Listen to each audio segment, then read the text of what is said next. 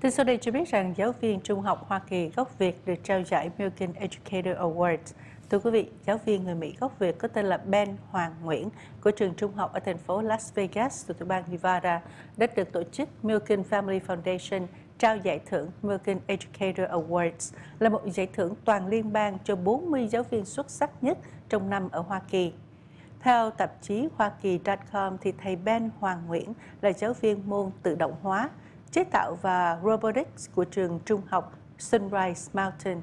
Cùng với biểu tượng của giải thưởng này là số tiền 25.000 Mỹ Kim cho mỗi người giáo viên đã tận tâm truyền cảm hứng khoa học cho học sinh của mình. Trả lời phỏng vấn của tạp chí giải Oscar cho giáo dục thì thầy Ben Hoàng Nguyễn cho biết đây là giải thưởng nhằm tôn vinh các nhà giáo dục đang ở giai đoạn bắt đầu hoặc là sự nghiệp nghiệp ngay giữa sự nghiệp dạy học.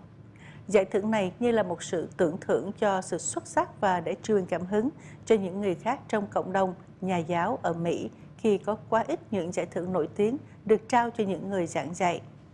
Anh cho biết giải thưởng là mồi nhắc nhở anh là phải nỗ lực hơn nữa trong thời gian sắp tới và tiếp tục tuận tụy cống hiến cũng như là mài dũa kiến thức và năng lực giảng dạy trong các lĩnh vực anh đã chọn. Anh cho biết mỗi giáo viên giỏi cần có nhiều phẩm chất, trong đó có sự kiên định, giỏi chuyên môn và khả năng truyền đạt.